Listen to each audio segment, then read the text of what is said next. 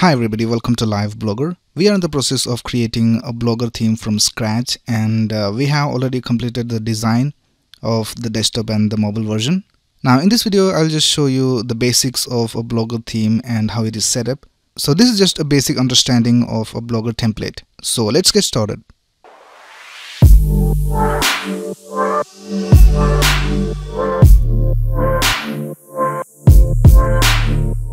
So first of all, let me show you the design that we currently have. This is the desktop version of our website.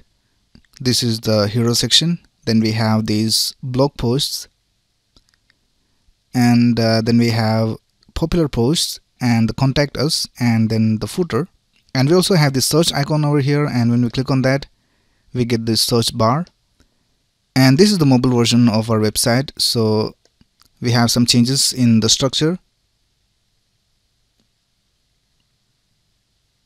and we also have this menu icon. And when we click on that we get this navigation menu for the mobile version. So we have designed all this from scratch in the previous uh, set of tutorials. So if you're watching this for the first time you can go ahead and view all the previous videos. I will leave the link of the playlist in the description below. Alright so in this video we will take a look at the basics of a blogger theme. So first of all you have to go to the blogger.com website so the first thing you need to have is a Google account or a Gmail account. So just sign in using your uh, Gmail account. Right, I have just signed in and uh, this is one of my previous blogs. So if you don't have any blogs, you may get a button over here to create a new blog. If you already have some blogger website, then one of them will be selected and you will have these posts over here.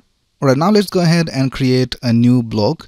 So click on this icon and here you'll find a list of all your blogs so just scroll down and at the bottom you'll find a button called new blog. So just click on that. Now the first thing is you need to name your blog. So we'll just name it learning theme development. And then click on next. And then here you can set an address to your blog. So let's type learning theme development. And it's not available. So let's add some numbers over here. Alright this blog address is available now ideally you need to have a shorter URL for your website but uh, since we are just testing it out we will just keep it as it is and uh, we'll click on save. And that's it. Our blog has been created. We have this name over here learning theme development and there are no posts as of now. And here are all the options that blogger provides for making customizations and uh, checking out the statistics of our website so for testing, we'll just create one post. So click on new post and I'll just name this blog post one. We'll add some random text over here. So if you go to this website called lipsum.com, you can just copy some random text from here. So just click on generate lorem ipsum and uh, we'll just copy some text from here. And I will paste it over here and then click on publish and confirm. Alright, our blog post has been created. Now let's go to the theme and let's see which theme is being applied. Now the theme we have by default is called Contempo Light. This is a theme provided by Blogger itself and uh, you can find a lot of themes over here. But we're going to create our own theme. First of all, let's check how our website looks right now. So for that you can just click on this button called View Blog. And this is how our website looks right now this is our blog post. If you go to the post you can see the post over here. Alright now let's remove all the code that we have in this theme and uh, let's learn some basics of blogger. So click on this arrow next to customize and then click on edit HTML and then we'll just go ahead and delete everything. So control A to select all and then just press delete. So we don't have any code right now in our theme. Now a blogger theme is basically created using a language called XHTML. So it is basically XML with uh, some capabilities of HTML. So what we can do is we can add HTML and CSS and JavaScript as well in uh, this same file over here. And we can use some Blogger specific code in XHTML. So now let's copy and paste the HTML from our design. So this is our HTML. So let me just copy this and uh, we'll paste it over here and I'll just delete everything inside the body so that nothing is left in the design. So right now we just have the structure of our HTML and we don't have any content. We'll also remove this link from here because it is not relevant anymore. Alright now let's click on save theme. And we can see an error over here. So let's just make this in one line. And wherever we have the ampersand we just have to type amp semicolon. So we'll do that here as well. Ampersand amp semicolon. So in XML you cannot just type ampersand. To type that you have to type ampersand amp semicolon. Alright now the next thing we need to do is uh, we need to add a skin in our uh, blogger template. So it is compulsory. So let me show you how to add a skin. You have to go into the head section. So this is the head section and uh, here we'll create a skin. So to create a skin you have to type less than b colon skin greater than. So here we are opening this uh, skin tag. Now let's close it over here. So we'll type less than forward slash b colon skin and greater than. So this is how skin is created. And in that we also need to add some more code. So here we'll type less than exclamation square brackets and in that you have to type c data and also add square brackets over here. And we'll just close this. And here we will add greater than. Now this is where all our css will go. So whatever css we have in our design will be pasted over here inside the c data. Alright now let's save and see what else we need to have. Alright now the next task is to add at least one section in our theme. So for that we'll go to the body section and uh, to create a section you have to type less than b colon section. And you have to have an ID for a section. So we'll type ID equals and we'll just type test. And we'll just close the section over here. Now sections in a blogger theme are basically containers. So you can have a section for the header. And in the header you can have widgets. So widgets are basically the code that displays something on your blogger theme you cannot directly have widgets in your theme. You have to have a section and in the section you can create widgets. Alright so we have created a section. Now let's click on save and see whether we get some more error. And now we can see it says update successful so we don't have any errors in our theme. Now what you need to do is uh, you have to just refresh this page and here we can see we already have some code generated by the blogger theme itself. And we have a line of code over here for the XML and we also have this line of code. So these both lines of code have been generated. Now if we view our website it will look blank. So let's go back. And let's click on view blog. And I will also open edit HTML in another tab.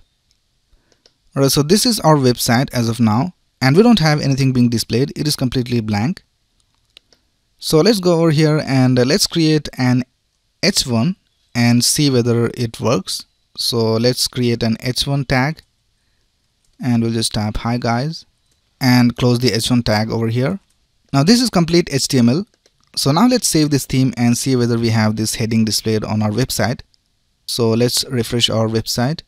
And we can see hi guys is being displayed so this is the first time we have displayed something on our website on a blogger template so in this way you can add any HTML over here and any CSS inside the C data and uh, you will have that displayed over here on your website. Now one of the major parts of a blogger template is the ability to add widgets. Now there are different types of widgets. There's a widget for header, there's a widget for blog, there's a widget for popular posts, search bar and a lot of things. And there's also a widget for plain HTML. So let me show you how to create a widget for header. Now to add a widget, you have to first of all create a section. So we'll type b section and we'll get an ID of header container and uh, we'll close the section over here. Right, in this section we'll create a widget.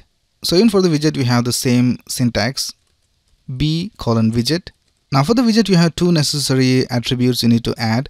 The first one is the ID. So we'll give it an ID of header1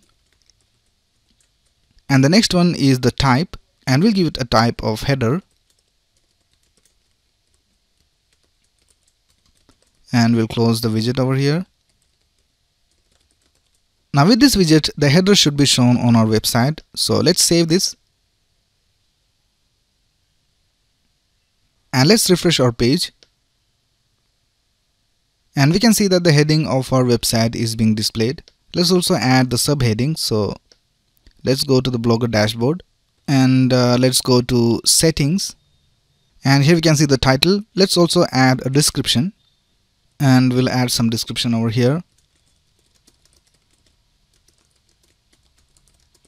Let's click on save. And uh, let's refresh our page and we can see the heading and the description of our website is being displayed over here. Now let's go back to our template and uh, let's refresh this page. And we can see we have a lot more code than what we had written in our theme. So whenever we add a particular type of widget in our blogger theme it automatically generates the default code for the widget. And we don't have to write everything from scratch now we can just go ahead and make some changes in uh, this widget and make it look like we want it to look. So here is all the code that we have for the widget. Here are some if conditions. So if you want to write an if condition in a blogger theme you have to type this uh, line of code. And in place of this you have to add your condition. And then here we can see we have one more if condition. And then we have this HTML so we have these divisions and we also have an h1 and then here we include the title so there are two things called includable and include. So here we can see we have include and then we have a name and then we have this uh, value. And what is happening over here is that we have already declared something called title as an includable and then we are including it over here in the h1 so let's search where we have written the includable for title. So if we scroll down we can see we have an includable with the id of title so whenever we write this code include name title then these lines of code will be included in that place. So in this way you can divide your theme into different parts and uh, it'll be easier for you to manage everything. So here we have another includable called description. And we can see it is being included over here and also up here. Right now let's quickly create one more section and uh, we will add a widget called blog which is a very important widget for any blogger theme. It displays all the blog posts of your blog. So let's create a section and we'll give it an ID of blog container. And let's close the section over here. And in that we'll create a widget. So we'll type b colon widget. And we'll give it an ID of blog1 and the type will be blog and we'll close it over here. Alright now let's click on save. And uh, let's refresh our page. And we can see our blog post is being displayed over here and we also have some details of the blog post. And when we click on the blog post the actual post is being displayed and we also have the ability to add comments. And the heading becomes a link so when we click on that it takes us back to the index page now let me show you one last thing about a blogger theme which is used frequently. First of all, let's refresh this page so that we can see the generated code. And we can see this is the generated code that we have for the blog widget. It is a lot of code. We also have some JavaScript. Right now let me show you something which is used a lot in a blogger theme development. So it is the if conditionals. So let's test it out we'll create an if condition by typing b colon if and then you have to type cond equals and in this you have to type the condition. So we'll create a condition where we want to display index when we are on a page type of index. So in the condition you have to type data colon blog dot page type and we'll check whether it is equal to the index page. So he will type equals equals index and we'll close the if condition over here. And whatever we type inside this uh, if block will be displayed when the page is an index page? Index page is basically the page where all the blog posts are displayed. So here we'll create an h3 and we'll just type index page. So whenever we have the index page we will have this uh, line of code displayed. Alright so let's save this theme now let's go to our website and let's refresh our page. And we can see it says index page because we are on the index page. Now let's go to a blog post. And now it is not being displayed because this is not an index page. So this is how an if condition works in a blogger website. Let me show you one more if condition. So let's copy this and paste it over here. And uh, let's set this to error page so whenever the error page or the 404 page is displayed we will have something written. So we will type 404 page and let's save it. So let's refresh our page. And the index is being displayed but the 404 page is not being displayed. Now let's add some random page. So we'll just type something over here. And I'll just hit enter. And we can see 404 page is being displayed so that's basically how you use if conditions for your blogger theme. So these are basically the basics of a blogger theme. So that's basically it for this video. From the next video we will start converting our design to a blogger theme. And if you have any doubts in this video you can ask in the comments below. And uh, if you like this video please click on the like button and subscribe to this channel to get the latest video updates. Thanks a lot for watching. Have a nice day